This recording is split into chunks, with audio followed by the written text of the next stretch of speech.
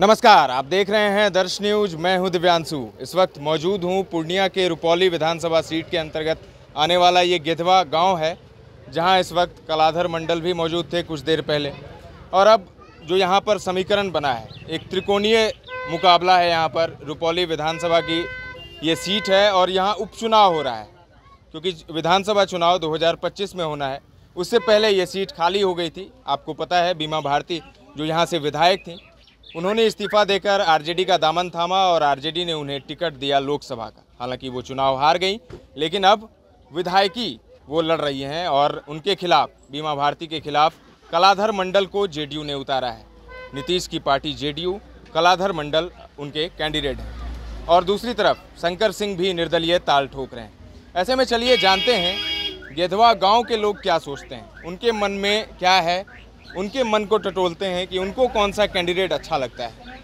चलिए जानते हैं। क्या नाम है सर? गणेश प्रसाद सिंह। जी आप तो बुज़ुर्ग हैं गाँव में रहते हैं बहुत दिन से राजनीति यहाँ देखते आ रहे हैं। किसकी हवा लग रही है? कौन आपको लग रहा है कि अच्छा कैंडिडेट है? अभी तो यही देख रहे हैं। जेडीयू के छाप मतलब नीतीश कुमार आपको पसंद है इसीलिए उनके कैंडिडेट आपको पसंद है। हाँ। शंकर सिंह नहीं पसंद है निर्दलीय जो और बीमा भारती आरजेडी से जो यहाँ विधायक हैं आप लोग कई बार जिताकर उन्हें भेजें। तो, तीन तीन बार जीता हम्म। उनसे नाराज़गी है? हम्म। काम नहीं किया उन्होंने। काम जो जो किया लेकिन इसमें से निकल कर भाग गई हाँ इधर से उधर जो उन्होंने किया है उस वजह से। नीतीश भी तो कई बार इधर से उधर करते हैं। करते हैं न लेकिन वो तो अस्थिर है। जी। अस्थिर है। कुछ और लोग हैं हम लोग जानते हैं इनसे कि क्या राय रखते हैं। हम लोग नीतीश बाबू के काम का जो है मजदूरी दे रहे हैं। जी। उन्होंने जो काम किया है हम्म, हम्म। शिक्षा के क्षेत्र हो मेडिकल के क्षेत्र हो और रोड बिजली खेत खेत में बिजली जा रही है और हर क्षेत्र में काम हो रहा है। और करवाने वाला जो है एक सुयोग हो उसका अपेक्षा रखते हैं और इस बार जो है सुयोग उम्मीदवार मिला है पहले तो हम लोग ज़बरदस्ती नीतीश बाबू के नाम पर जो है ना देते थे वोट उनको। किनको बीमा भर्ती को। जी। जो कि इच्छा नहीं था फिर भी नीतीश बाबू के नाम पर हम लोग देते थे वोट करते थे। हम्म, कि नीतीश बाबू का काम जो है अच्छा है इसलिए दे रहे हैं। कैंडिडेट हम लोग को पसंद नहीं था। इस बार हम लोग को कैंडिडेट पसंद मिला है। हम लोग खुल के वोट कर रहे हैं। और जो नीतीश कुमार को लेकर एक जो बात है कि जो तेजस्वी यादव आरोप लगाते हैं कि हमने नौकरियाँ दी है सत्रह महीने में। अरे सत्ता हमारी है सरकार हमारी है तो नौकरी नीतीश कुमार देगा कि नीतीश दे देगा तेजस्वी? वो तो झूठ बोलता है। जंगल राज बना कर उसका पिताजी को छोड़ दिया। है? उसकी माँ जंगल राज- माँ माँ जो है हम लोग कांपते थे। एक भी मोटरसाइकिल नहीं झलकता था। अभी हर घर में मोटरसाइकिल है। और फोर व्हीलर भी यहाँ दिखाई पड़ रहा है गाँव गाँव में। कौन सा कैंडिडेट अच्छा लग रहा है इस बार? कलाधर मंडल।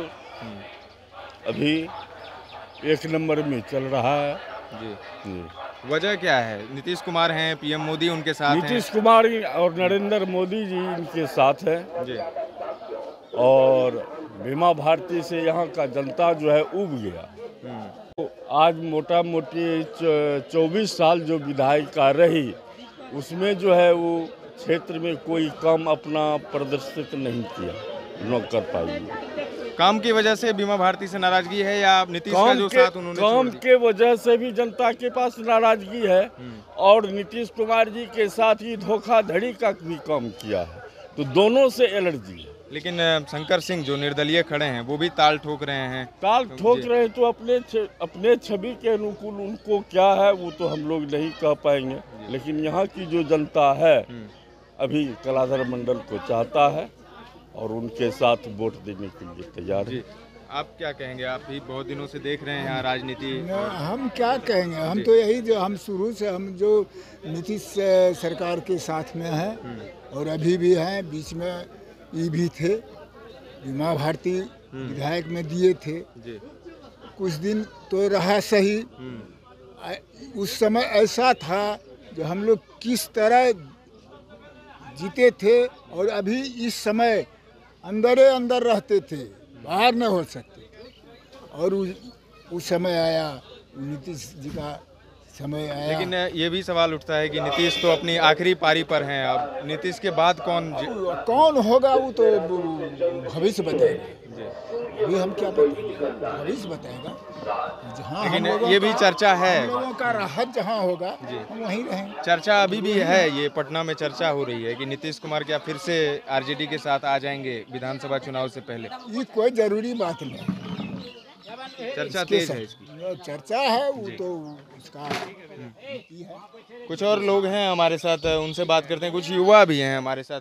अभी हमने बुज़ुर्गों से बात की। जी आपको कौन सा कैंडिडेट अच्छा लग है? हमको सब कैंडिडेट अच्छा लगता है। सबको तो वोट आप नहीं दे पाएँगे। नहीं दे पाएँगे लेकिन अच्छा सब लगता है सब कैंडिडेट अच्छा लगता है। सब अच्छा लगता है हाँ। देखिए तो ऐसे भी लोग हैं जिन्हें सब कैंडिडेट अच्छा लगता है। ऐसे लोग मिले हैं हमें जिन्हें कोई भी कैंडिडेट अच्छा नहीं लगता है लेकिन यहाँ पर ऐसे शख्स हैं जिन्हें सब कैंडिडेट अच्छा लगता है ये सबको वोट देना चाहते हैं। सबको नहीं दे पाएँगे लेकिन आप जो पूछे उस अनुसार जो है ना सब अच्छा लगता है कैंडिडेट बीमा भारती भी अच्छी लगती सब अच्छा है। बीमा भारती अभी नीतीश कुमार पहले था तो सब बीमा भारती को वोट देते थे। अब ये सर है तो इसको तेजस्वी यादव भी अच्छे लगते हैं। सब अच्छा है सब नेता अच्छा है। नीतीश कुमार भी। सब। तो आपने देखा यहाँ पर जो लोग हैं कह रहे हैं कि कलाधर मंडल को ही वोट देंगे। बीमा भारती को हमने मौका दिया बीमा भारती ने काम भी नहीं किया और नीतीश को वो छोड़कर चली गई। तो एक नाराज़गी है बीमा भारती को लेकर। और कलाधर मंडल को लेकर यहाँ पर है कि हम लोग कलाधर मंडल को ही वोट देंगे, नीतीश कुमार को लेकर। तो देखिए क्या होता है, दस तारीख को यहाँ वोटिंग है और उसी दिन पता चल जाएगा कि रुपौली विधानसभा सीट पर जीत किसकी होगी। क्या कलाधर मंडल जेडीयू के टिकट पर जीत जाएँगे या फिर बीमा भारती लालू के लालटेन को लेकर लालटेन को जला देंगी या फिर शंकर सिंह निर्दलीय उम्मीदवार जिनका चुनाव चिन्ह भी कैंची छाप है, जो पप्पू यादव को मिला था चुनाव चिन्ह कैंची छाप, लोकसभा चुनाव में।